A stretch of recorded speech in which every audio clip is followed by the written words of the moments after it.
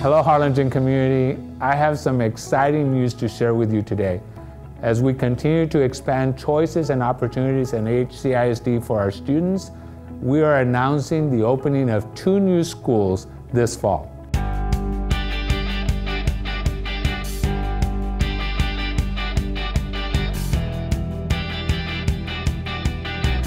We reached out to you, our community, to seek your input on what new schools you would like to see in Harlingen. Through time, consideration, and a strategic rollout, HCISD will be opening the Harlingen STEM Squared Preparatory Academy and Lee Means Elementary Fine Arts Academy. For this upcoming school year, the Harlingen STEM Squared Preparatory Academy will accept incoming 6th and 7th grade students and will expand to a full 6th through 8th grade school in 2019. Science, technology, engineering, math, and biomedical sciences are concentrations of study that will be offered in this academy. In a small learning environment, students will receive an enhanced curriculum filled with authentic learning experiences.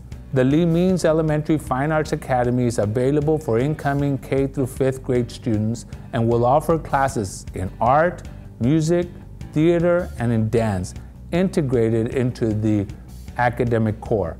Current Means Elementary students will be exposed to these opportunities and we're inviting more students to join this elementary family. We look forward to enhancing students' passions in this area. Visit our website for locations and times to these sessions.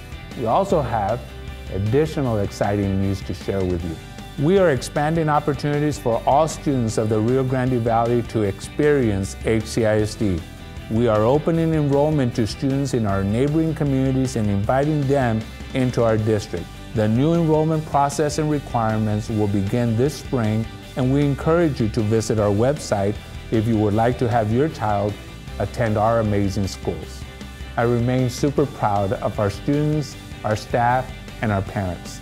We want to thank you for your commitment to the education of our students in HCISD we encourage you to reach out to us if you have any questions about our two new schools in the fall and our open enrollment policy.